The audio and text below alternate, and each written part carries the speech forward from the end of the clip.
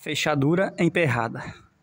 A fechadura é um símbolo de segurança, é um símbolo de controle, é um símbolo de organização e de proteção, né? É uma proteção ali que está ao seu controle. Você que comanda, você fecha a chave e guarda e fica protegido contra é, potenciais invasores.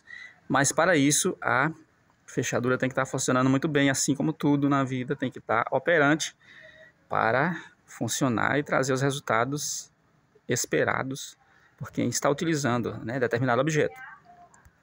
Se ele está emperrada, se ela está com algum problema, se ela está travando, se ela não está fechando direito, a gente é, procura consertar. Se a gente não conseguir, a gente procura um especialista, alguém para consertar. Então, é, a gente faz isso buscando é, transformar aquilo que está com defeito em algo bom novamente, né? Para, para, para produzir aquela solução que a gente requer, que a gente espera daquele produto. Então, é, às vezes as pessoas vão em busca de um profissional para consertar quando está quebrado algo. E às vezes eles tentam arrumar. E aí ele tenta, que, ele tenta arrumar uma pessoa, o dono tenta arrumar ali alguma coisa e não consegue.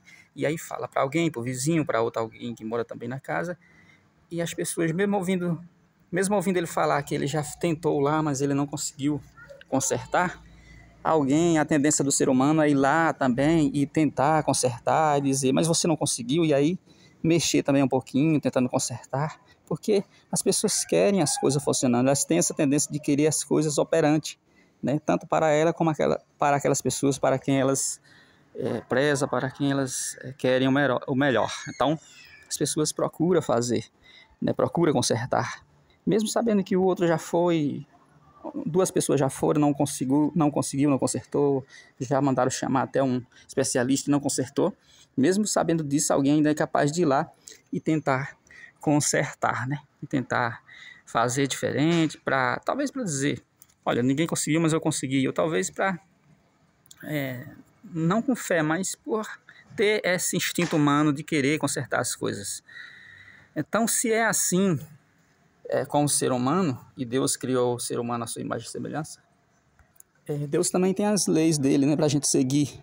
E a gente sabe que não é por essas leis que a gente vai ser salvo do grande mal mas a gente tem a tendência de, de mexer, né? Então, se com uma fechadura, uma coisa simples, por exemplo, que quebra, a gente tenta consertar, mesmo sabendo que a gente não consegue, porque a gente quer o benefício daquela fechadura, que é ela funcionando muito bem e trazendo os resultados para as pessoas, da mesma forma também, a gente sabe que não é a gente que vai é, curar a nossa pendência com Deus, mas a gente tenta colocar em prática, produzir os bons frutos de que Deus precisa a gente vai procurar colocar em prática as, as leis de Deus, estar ali observante né, para com as leis de Deus, porque sabe que Deus criou aquelas leis porque isso é bom, porque ela, a, o cumprimento daquelas leis nos traz o resultado.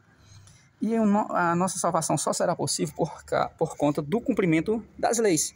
A gente não vai cumprir, ninguém vai conseguir cumprir, porque Deus diz que ninguém consegue. O ser humano ele está corrompido e ele não consegue mas alguém cumpriu por nós, que foi o Senhor Jesus Cristo, o próprio Filho de Deus que desceu na terra e cumpriu, né? E cumpriu todos os mandamentos e cumpriu com perfeição. Então, é graças a ele que ele vai ter a oportunidade de, eh, de dar de graça essa vida, essa salvação do grande mal para todas as pessoas.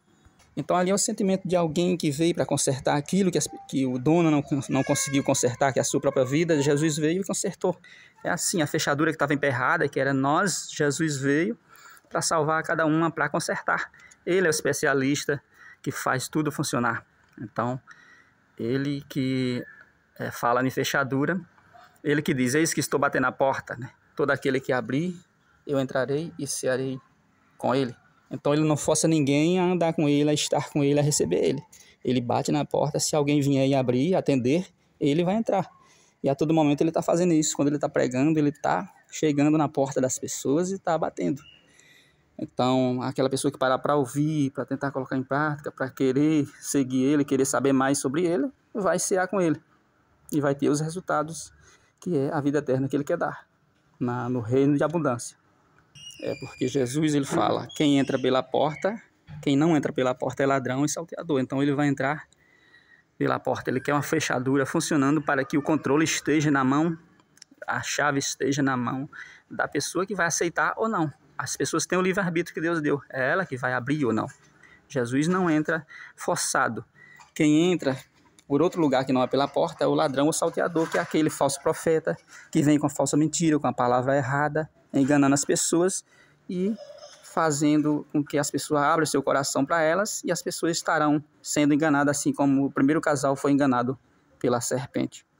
Então, uma vez que a gente abre, que Jesus está batendo e a gente abrir e fechar a porta e o mal vier, se a gente não abrir para o mal, a gente estará com ele ceando para sempre. Amém? Essa foi a comparação da fechadura com o reino dos céus. Então, assim, um simples objeto ele pode representar a história de Deus para com a humanidade.